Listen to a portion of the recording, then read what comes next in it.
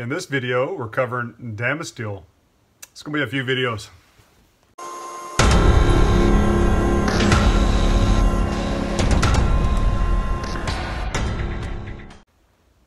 Hello and welcome to my shop. My name is Christopher Gillian and in this series of videos we are working with Damasteel. In a previous video we had taken a bar stock of Damasteel and machined it in, into this blade and we had stepovers that had to be removed. And we did that in the previous video. In this video here, we have some more process to continue with this knife. We're going to surface grind this blade down for our backspacer and then engrave on the cheek my name and then we'll go into the heat treat process. This will be interesting to somebody. So the first thing I'm going to do is I'm going to clean the chuck. I'm going to dress my wheel and then clean the chuck again. If you're wondering how deep the double disc grind line are, it's at half a thousandths.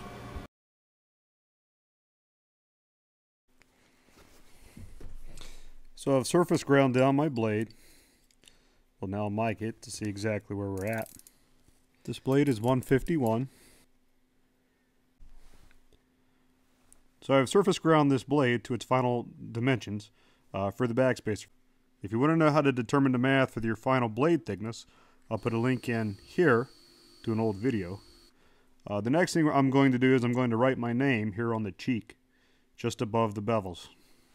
And to do that, we're going back inside the Minimill.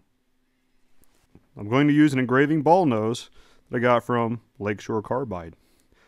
I'm really happy with these things. They work fantastic.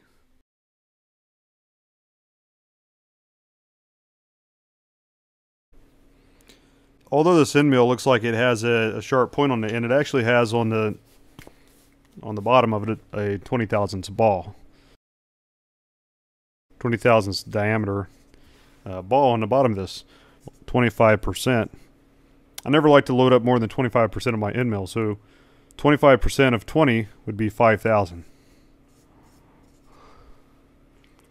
So I'm going to cut with this ball into my material 5,000.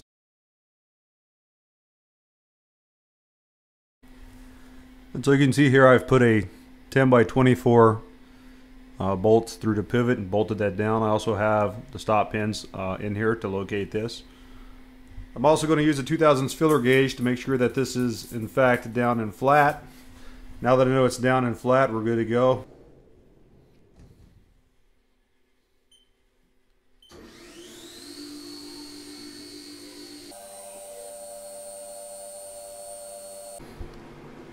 There you go, my name's engraved. The next thing I'm going to clean it up with some sanding.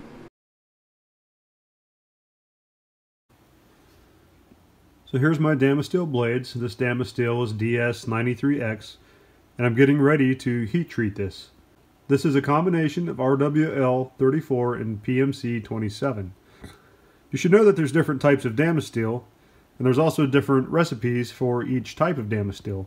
For example, with this Damasteel, you could take it to a low hardness, say 56, and turn it into a pocket clip. But in this case, I'm using it for blade steel, so I'm going to use a recipe for a high hardness to get the Rockwell hardness above 60. One of the things I did do with this knife is I left myself extra, just in case if it does bow, I have some room to mitigate that. Following the plate quench, we're going to use liquid nitrogen.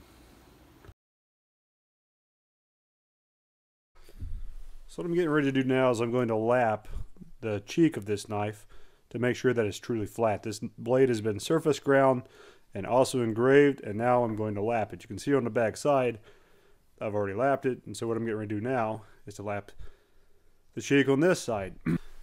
I'm being very careful to stay off the bevels. So I'm doing now is I'm lapping my blade. This is removing the small ripples left from the surface grinders uh, screw. And even though you can see them, you can't feel them, but they are there. And what I'm actually doing is I'm removing tenths. This is tenths of a thousandths. Uh, this is not removing thousandths, this is removing tenths. So what I'm looking for is I'm watching this dark gray area here close in. You want to have a lot of water when you do this. I have a five gallon bucket of clean water. You use um, plenty of towels. Periodically dip your stone in the in the water, and it just takes a lot of towels and a lot of patience. And so you can see here the dark grayness has reached the plunge line, so I'm now going to stop. I went ahead and did I went ahead and did both sides. We've now flattened this.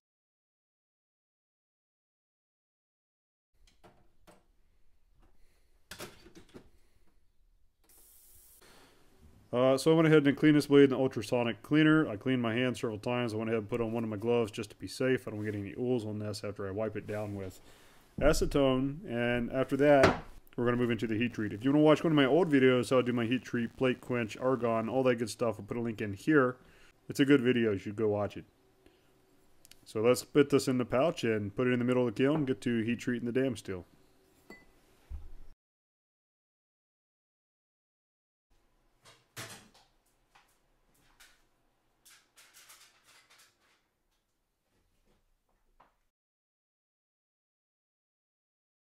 I'm going to quench these at 2010 degrees.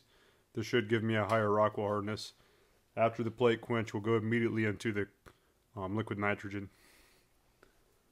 And I'm also going to hit the add time to give me five more minutes just so I'm not rushed.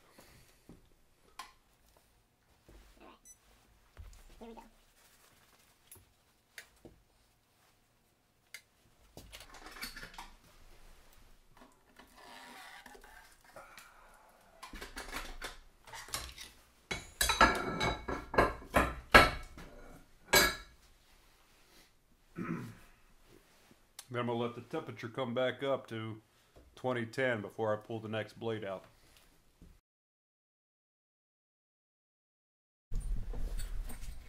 Following the plate quench, I went straight into a deep freeze in the Dewar in liquid nitrogen. It's about minus 320 degrees Fahrenheit. It's not necessary to do a deep freeze with Damasteel, but it helps complete the martensionite transformation and increases the Rockwell hardness, also the toughness of the blade and I just left it in there overnight.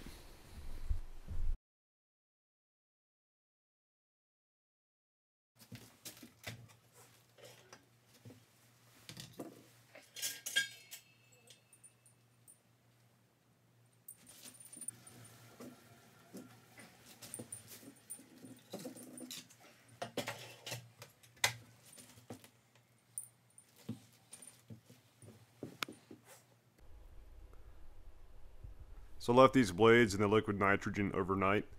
And all I'm doing now is letting them come up to room temperature before I start the first temper.